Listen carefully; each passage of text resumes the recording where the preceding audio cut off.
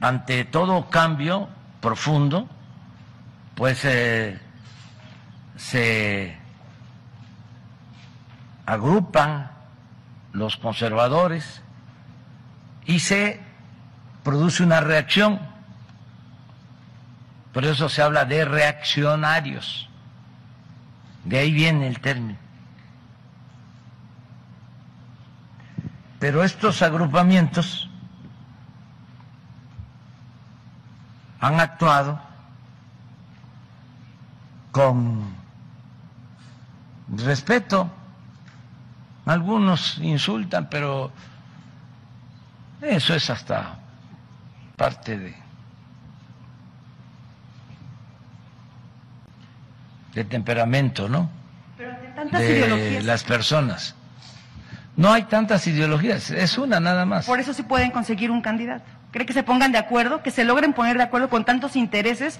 Si bien es una sola ideología, pero luego son distintos intereses, ¿podrán conseguir un solo Bueno. candidato? No, no sabemos. Yo no, no, no, no me podría meter a eso. Este, solo decirles que nosotros vamos muy bien, que yo tengo que eh, agradecerle al pueblo de México por el respaldo, por el apoyo, porque si no fuese por el pueblo, ya estos grupos conservadores ya nos tendrían como se dice coloquialmente, bocabajeados, este, ya nos hubiesen avasallado.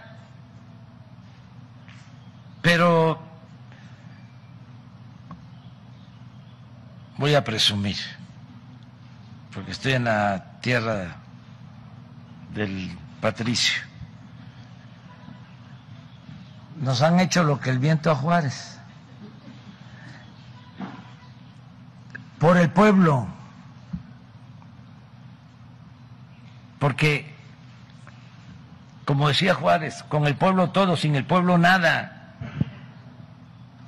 Entonces, estos grupos conservadores, pues no le tienen fe al pueblo, no le tienen amor al pueblo, no respetan al pueblo, son grupos siempre de élite minoritarios.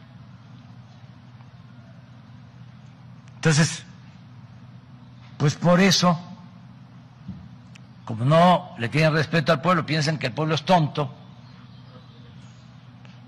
pues por eso no avanzan.